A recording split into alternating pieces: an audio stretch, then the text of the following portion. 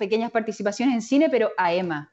Y el formato es muy distinto. O sea, Pablo no me daba muchas indicaciones, me daba indicaciones, Pablo Larraín, ¿cierto? Muy precisas para yo poder eh, seguir trabajando. Pero casi siempre se referían a menos, Mariana, menos, menos, aprender a, a masticar las palabras, como en cine, ¿cierto, Paula? Todo significa trabajar a una cámara, trabajar a plano contra plano, la repetición y la repetición y la repetición, eh, es bien distinto. Y bueno, en teatro también. Em, ahí tienes que hacer llegar el mensaje o las palabras hasta el último espectador de la sala, se imposta la voz de una manera distinta, es todo quizá un poco más grandilocuente. Paula, tu lectura. Eh, sí, bueno, yo también estoy súper de acuerdo con la Mariana. Em, eh, los formatos son muy distintos. Eh, lo grande de las acciones, digamos, de los textos, cambia un montón. Y también, aparte, es como la mano del director o de la directora. Como mm. decía Mariana, Pablo es muy sensible, muy inteligente y dirige como te va guiando de a poco. En cambio, mm. quizás la Lucía era, no sé eh, qué piensas tú, Mariana, pero la Lucía mm. también era quizás como, em, más que ir investigando, ella tenía ya una idea, entonces ella te guiaba para llegar a esa idea en conjunto. No sé, mm. es como, y uno tiene que estar disponible, y yo creo que el trabajo del actor y de la actriz es estar flexible para tomar esas indicaciones, hacerlas de uno y y poder ir cambiando, ir mutando fácilmente. Oye, hay, un, hay un punto que, es entretenido y relevante, que es que las dos también habían actuado antes en una obra de Pablo Larraín anterior, que es Emma. Eh, ¿Cómo fue esa, entre, esa experiencia y qué desafío enfrentaron? Con la Paulita llevamos siendo novia, ya no. hay algo que nos destina, hay algo que nos destina a ser novias.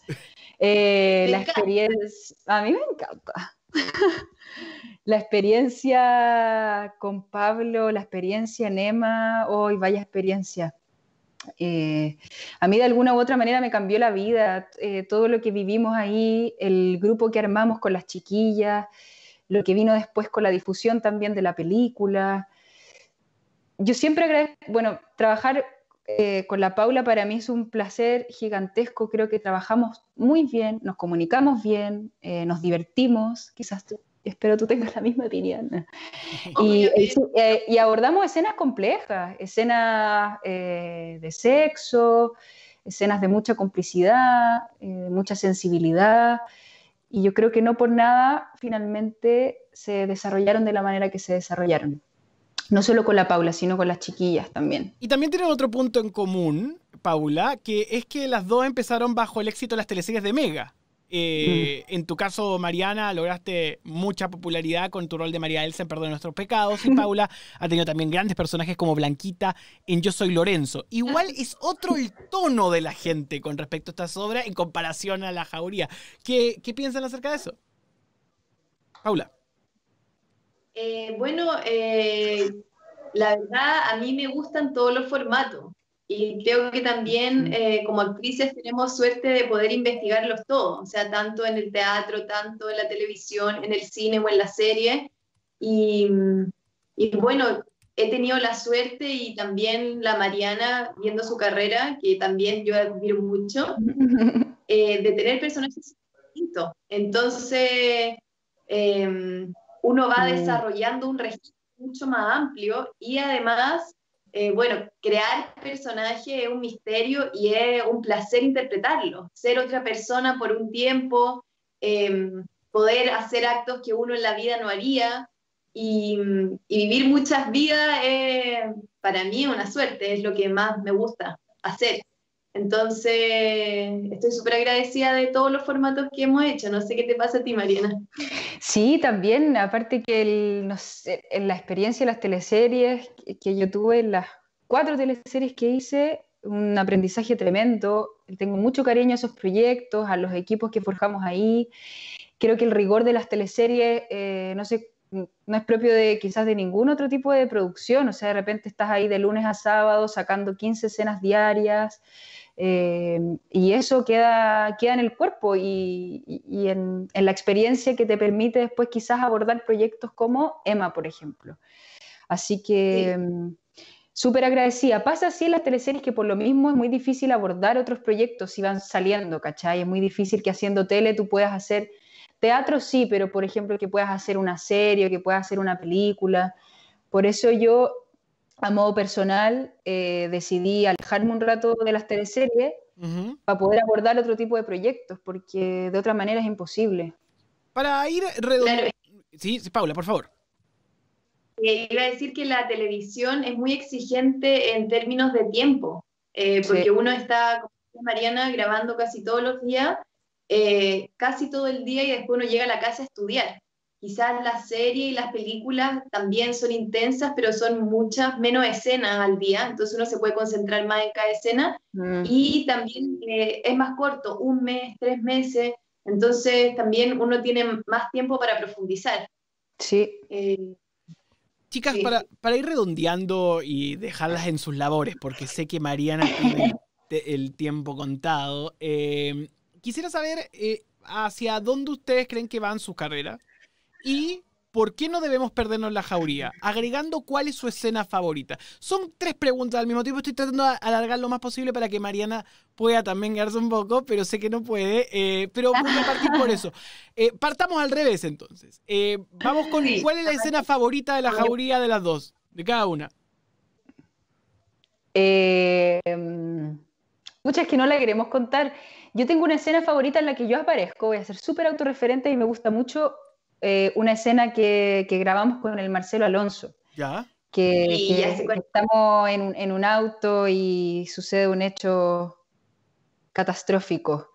Eh, me gusta mucho también la escena de la, de la rave. Hay una rave de techno que creo que está muy bien lograda. Es primera vez que veo como en una ficción un, como un mundo underground tan bien logrado y ahí la Paula también tiene una, una escena muy tremenda.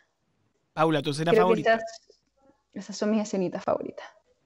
Eh, yo creo que tengo tres en la cabeza. Eh, bueno, una en la que estamos con la Mariana en la biblioteca, esa escena me encanta. Sí. Eh, también una escena con mis padres, em, cuando me revelan algo.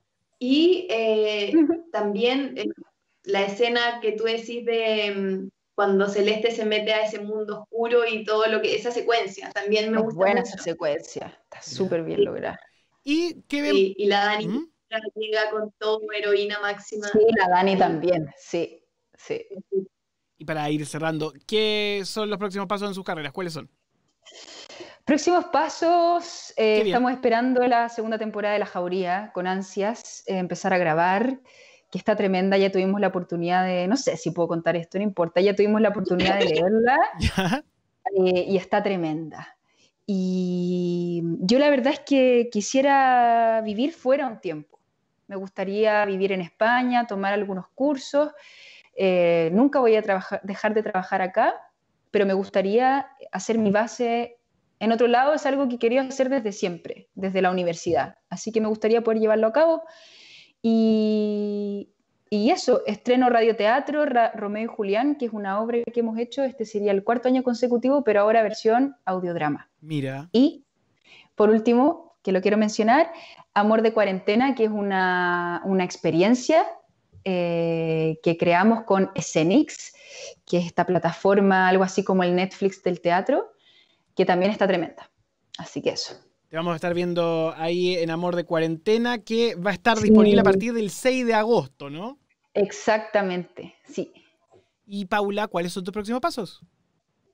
Eh, bueno, yo también, eh, a mí me encantaría, mi sueño también es trabajar eh, fuera de Chile, en otros países, obviamente siempre trabajar en Chile.